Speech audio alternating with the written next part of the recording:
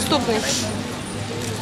Обличчя теж? Так. Сьогодні у нас е, вже 103 акція, е, яка присвячена нашим військовим, які в полоні, які безвісті зниклі. І ми сьогодні такий робимо перформанс для того, щоб привернути увагу в першу чергу і суспільства, і в першу чергу влади для того, щоб були якісь активніші дії, тому що мовчання вбиває. У середмісті Хмельницького учасники акції Поверніть героїв з полону вишиковуються за стрічками скотча, аби зав'язати руки і заклеїти рот. Чекає черги мати зниклого безвісти військовослужбовця Ніна з Ярмолинців. Розповіла, звістки від сина немає 10 місяців. Ми не будемо мовчати. Ми будемо кричати, ми будемо говорити, ми кругом будемо.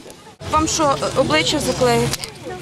Координаторка акції Леся Стебло каже, у такий спосіб хочуть передати стан полонених і тих, хто чекає на їх визволення. Зв'язані руки у наших військовополонених, тих, хто в полоні.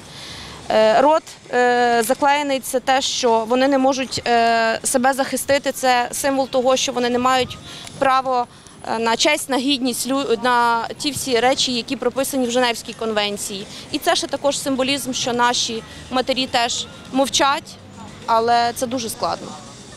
Матері, дружини, наречені, кохані, сестри, брати, батьки. Зі зв'язаними руками стоїть на акції Рима з Херсонської області. Син її подруги розповіла третій рік у російському полоні.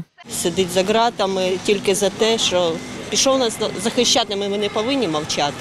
Ми повинні говорити, проводити акції, звертатися до людей про підтримку, звертатися до суспільства, звертатися до наших можновладців.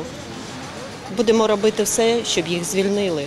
Ми будемо їх голосом. У другій частині акції її учасники звільнили свій рот та руки від клейкої стрічки як символ того, що кожен український військовослужбовець буде почутий, зможе висловитися та обійняти своїх рідних.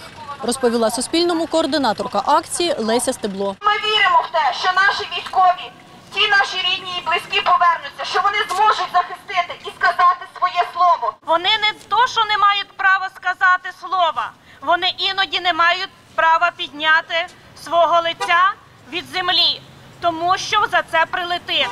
Наступна акція, зі слів її координаторки, відбудеться в Хмельницькому 9 серпня. Ярослава Антошевська, Віктор Кривий, Суспільне новини, Хмельницький.